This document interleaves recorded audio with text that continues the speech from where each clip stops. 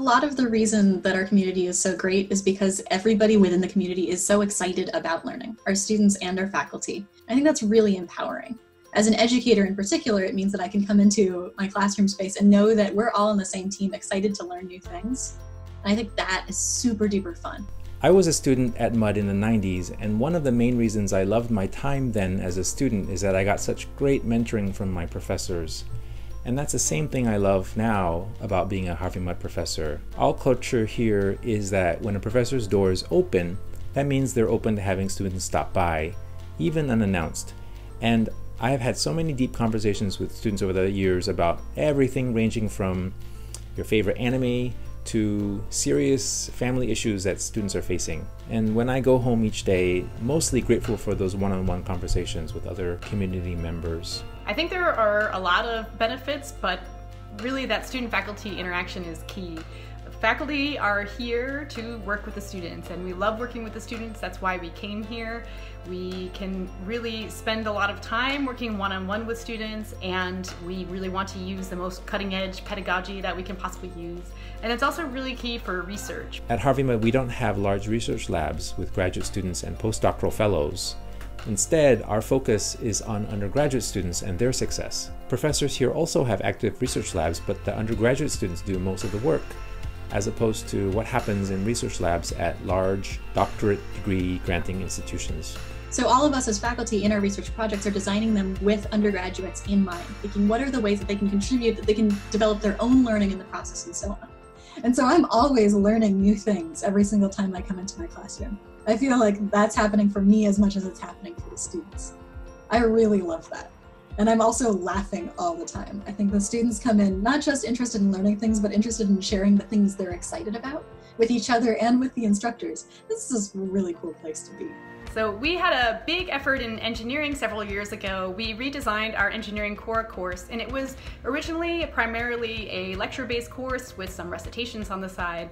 And what we really wanted to do was improve on student learning and the student experience in the course, have students understand more what engineers really do. And we pulled from several different best practice in literature to create the new course that we're really excited about.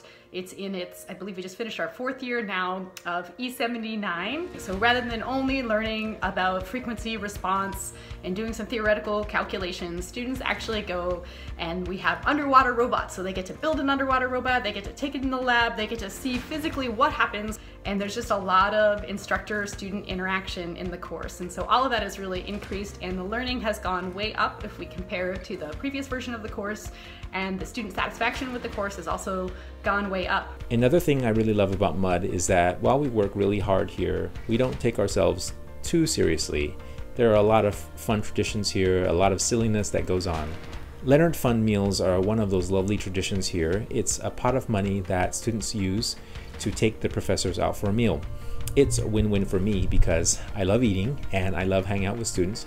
Also, I'm a pianist, and over the years I've had the privilege of playing chamber music with a lot of really talented Mudd students. So those are just some of the examples of different ways that faculty and students get to know each other really well here. The thing that I really love about small liberal arts colleges is the ability to interact with people in a community of shared experience who all have the same context. You have lots of different faculty who all know which courses you took to get to the point that you are at, who all are excited and have known you for some time potentially as you've worked through those different courses. In my teaching and learning practices, I like to be as transparent as possible about the fact that I'm someone who's still learning how to do the things that I do every day. That means trying to make mistakes in class, sometimes purposefully recreating mistakes that I've made outside of class so that students can see what that looks like. So maybe writing code with a bug in it particularly, and then showing the debugging process that I use. I'm also really interested in finding ways to help create a more equitable and inclusive learning environment. For example, some students here went to really fancy high schools that had lots of enrichment activities, other students are more like me. I worked hard, but my high school was, let's just say, not very academically rigorous.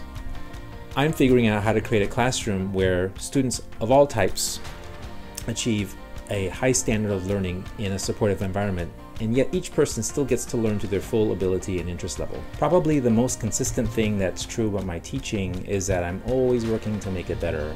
I'm continually experimenting to find ways to help students learn tricky concepts more efficiently or to make my classroom environment less stressful, more supportive, and more inclusive. I also care a lot about giving people a chance to collaborate with each other because I think that one of the greatest strengths of Mudd is the students, and I feel like that's something that everybody should be benefiting from the students from each other as much as from me. There's something really cool about having so many outstanding and excited students who are excited about helping each other in one place.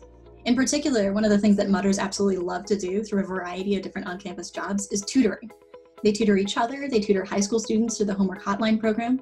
And because many of our students are tutors in some capacity or another, that means that they come into the classrooms and other spaces for teaching and learning already excited about helping each other and already fairly well educated about how to help each other in a way that's supportive and effective. I think that it means that students at Harvey Mudd College are extremely good at collaborating.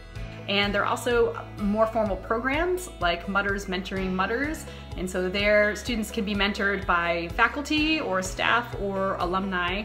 Um, and so there are a lot of opportunities for mentorship there. We also have a really helpful alumni network that faculty can often hook you up with. So I frequently will talk to some students who say, hey, I'm interested in this field, and I will remember a former student of mine that is now working in that field, and so I can connect them together and they can get some great advice and mentoring there as well.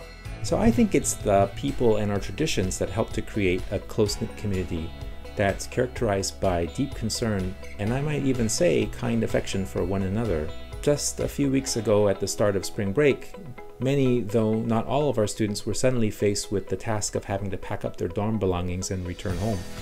It also happened to be a great rainy day, and yet there were students, professors, and staff out there in the dorms voluntarily helping students pack and move their things into storage pods. That's just an example of the kind of warm-hearted approach that we take towards one another here at Harvey Mudd.